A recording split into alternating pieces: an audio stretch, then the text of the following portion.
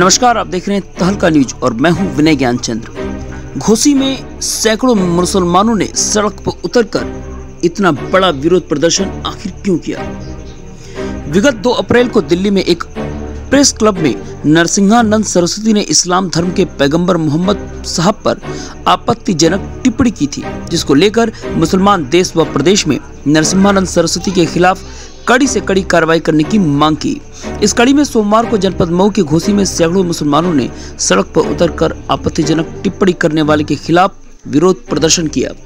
बताते चले कि नगर के मदरसा शमशुल में पास से ही पास में ही सैकड़ों मुसलमान एक साथ सड़क पर उतर गए और रसूल की शान में गुस्ताखी करने वालों के खिलाफ एक जुलूस लेकर विरोध प्रदर्शन करते हुए मधुबन मोड़ से होते हुए तहसील मुख्यालय पर पहुंचकर एक ज्ञापन महामहिम के नाम उप जिलाधिकारी घोसी को सौंपा, जिससे जिसमें मांग की गई कि नरसिंहानंद को जल्द से जल्द कड़ी से कड़ी कानूनी कार्रवाई की जाए। इस तरह की आपत्तिजनक टिप्पणी करने से देश में अशांति का माहौल हो सकता है। आप देख रहे हैं तहलका न्यूज़ मवीरों की एक रिपोर्ट। Yeah.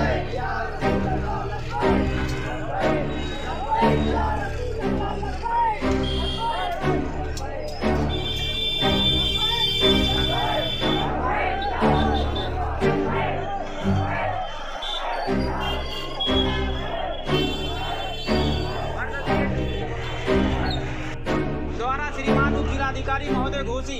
विषय यदि नरसिंहानंद सरस्वती ने दिनांक दो चार दो हज़ार इक्कीस को दिल्ली प्रेस क्लब में दिए गए भाषण में मुस्लिम समुदाय के पैगंबर हज़रत मोहम्मद मुस्तफ़ा सल्लल्लाहु अलैहि वसल्लम के विषय में गलत शब्द का उपयोग कर उनकी शान में गुस्ताखी की है, जो कतई क्षमा योग्य नहीं है।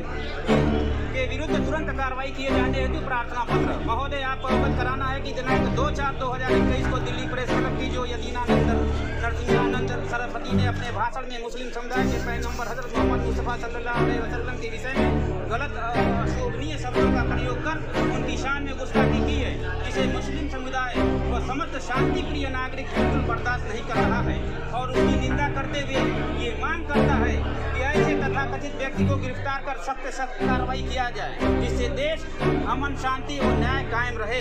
ये है हमारा प्रोटेस्ट का मेमोरेंडम। आप लोग सुन लिए Yeah.